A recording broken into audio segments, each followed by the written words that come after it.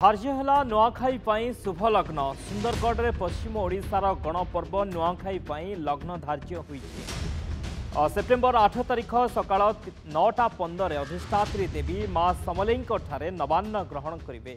ପରେ ସମସ୍ତେ ନିଜ ନିଜ ଘରେ ଅପରାହ୍ନ ବାରଟା ପଇଁଚାଳିଶରୁ ଗୋଟେ ପନ୍ଦର ମଧ୍ୟରେ ନବାନ୍ନ ଗ୍ରହଣ କରିବେ।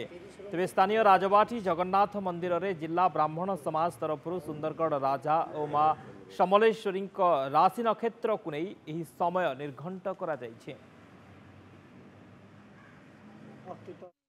ଆଜି ଜିଲ୍ଲା ବ୍ରାହ୍ମଣ ସମାଜ ତରଫରୁ ପ୍ରତ୍ୟେକ ବର୍ଷ ପରେ ଆଜି ବି ଜଗନ୍ନାଥ ମନ୍ଦିର ପ୍ରାଙ୍ଗଣରେ ଆମର ରାଜା ସମରେନ୍ଦ୍ର ଶେଖର ଦେବଙ୍କର ତିଥି ଲଗ୍ନକୁ ଦେଖିକିରି ଆମର ଲଗ୍ନ ଧାର୍ଯ୍ୟ କରାଯାଇଛି ସାଢ଼େ ଆଠଟାରୁ ସାଢ଼େ ନଅଟା ଭିତରେ ମା ସମଲେଇଙ୍କ ସାରେଠାରେ ନବାନ୍ନ ଲାଗି ହେବ ଏବଂ ସର୍ବସାଧାରଣଙ୍କ ପାଇଁ ସାଢ଼େ ବାରଟାରୁ ଗୋଟେ ପନ୍ଦର ଭିତରେ ଆମର ଲଗ୍ନ ଧାର୍ଯ୍ୟ କରାଯାଇଛି ସେଇଟା ସର୍ବସାଧାରଣ ଲଗ୍ନ।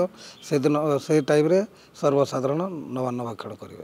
ଗାଙ୍ଗପୁର ମହାରାଜ ସମରେନ୍ଦ୍ର ଶେଖର ଦେବଙ୍କର ଲଗ୍ନ ଅନୁସାରେ ମା ସମଲେଇଙ୍କ ଠାରେ କେନ୍ ତାରିଖ ଦିନ ଲଗ୍ନ ତୟ ହେବା ସେଟା ତୟ ହେସି।